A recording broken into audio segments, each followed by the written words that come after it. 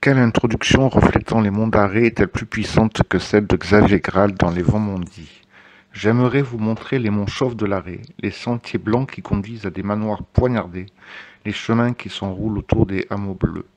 C'est un pays de brume et de vent en bataille, avec des toponymes aussi fluides que des ondées, aussi sonores que des gonds. Entité au contour mal défini, les monts d'Arrée s'étendent sur environ 192 000 hectares. Il résulte, comme l'ensemble du massif armoricain, du plissement hercynien et sa ligne de l'Aulne jusqu'à la limite orientale du Finistère. Un vieux dicton dit À planir Blaraspar, ôter les pierres à Bérien, les fougères à Plouyer, les putains à Poulaouen, chose impossible à Dieu.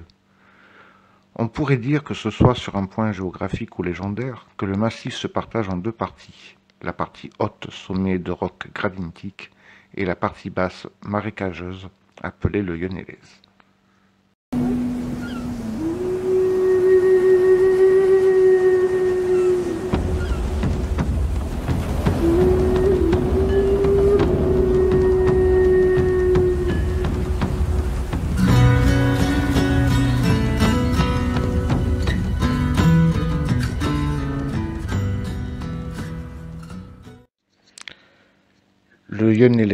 C'est aussi cette partie basse d'où on peut voir les monts d'Arrée.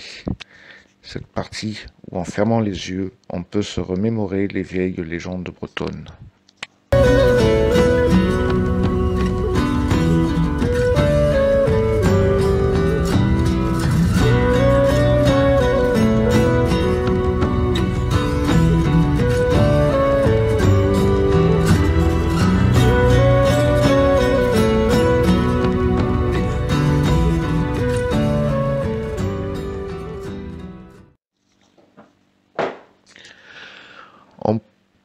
Dirait en été une steppe sans limite, aux nuances aussi changeantes que celles de la mer. On y marche sur un terrain élastique tressé d'herbes, de bruyères, de joncs. À mesure qu'on avance, le terrain se fait de moins en moins solide sous les pieds. Bientôt on enfonce dans l'eau jusqu'à mi-jambe, et lorsqu'on arrive au cœur du Yonne, on se trouve devant une plaque verdâtre, d'un abord dangereux et de mine traîtresse, dont les gens du pays prétendent qu'on n'a jamais pu sonder la profondeur. C'est la porte des ténèbres, le vestibule sinistre de l'inconnu, le trou béant par lequel on précipite les conjurés. Cette flaque est appelée le Youdik, la petite bouillie. Parfois son eau se met à bouillir. Malheur à qui s'y pencherait à cet instant. Il serait saisi, entraîné, englouti par les puissances invisibles. Anatole Lebras. An old man by a seashore at the end of day gazes the horizon with sea winds in his face. Tempest tossed island, seasons all the same. Anchorage and painted, and a ship without a name. Sea without a shore for the banished one unheard. He the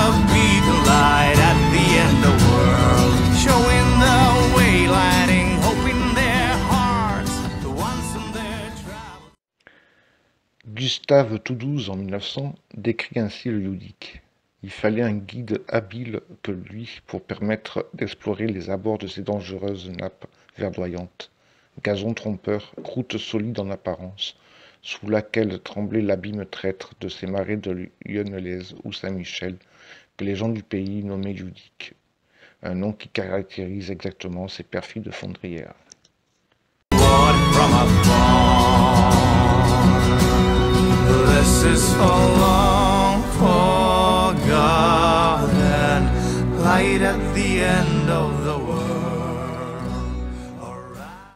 L'abondance de la tourbe dans le marais et le manque de bois dans la région des monts d'Arrée, en raison de la prédominance de la lande, a entraîné depuis un temps immémorial son exploitation. La preuve la plus ancienne connut l'extraction de la tourbe à cet endroit et la mention dans un inventaire, après décès, d'une pelle de fer à tirer les mottes, qui a été adjugée six sols à Hervé le Pichon le 29 décembre 1709 lors de la vente des biens de Valentin Pichon, décédé en 1707 au village de Roc-Arc-Ézec, territoire de Botemeur, paroisse de Berrien, en plein cœur du Yonélez.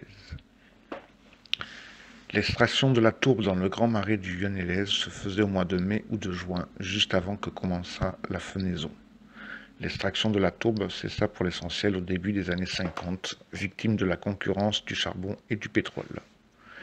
L'interdiction de déverser du lisier dans le bassin versant du lac réservoir et le recul de l'utilisation des intrants agricoles chimiques contribuent à l'excellente qualité des eaux naturelles. Le, sang, le marais semble désormais être préservé.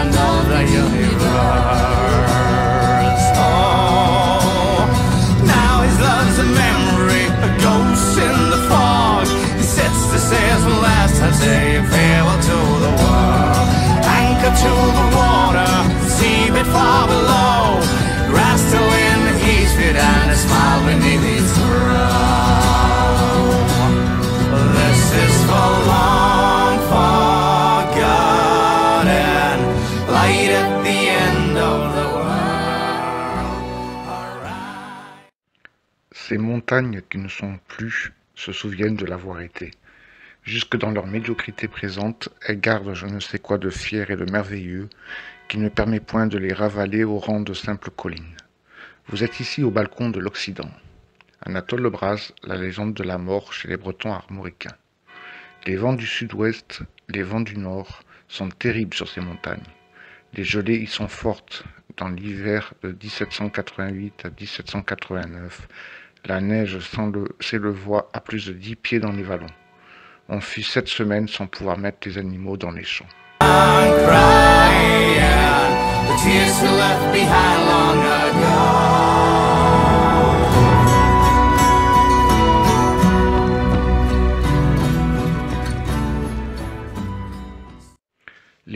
Été nombreux jusqu'au milieu du XIXe siècle, les derniers ayant été tués en 1884 au cloître Saint-Égonec et en 1895 à Pancran.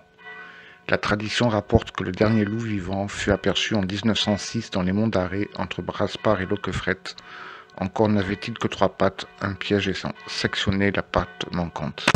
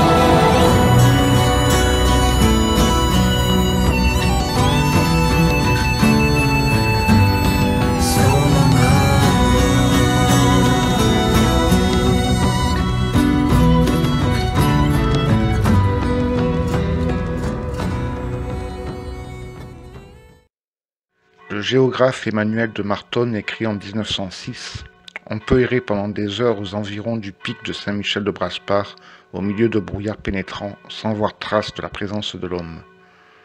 Dans sa chanson du cidre, Frédéric Le Guyader raconte la mésaventure d'un berger de Saint-Rivoal, âgé de 10 ans. Fanchi avait souvent affaire au loup glouton, aux bandits des trousseurs de l'arrêt, grand seigneur, souvenir de toute une contrée qui va de Brénilis jusqu'au bourg de Sizun.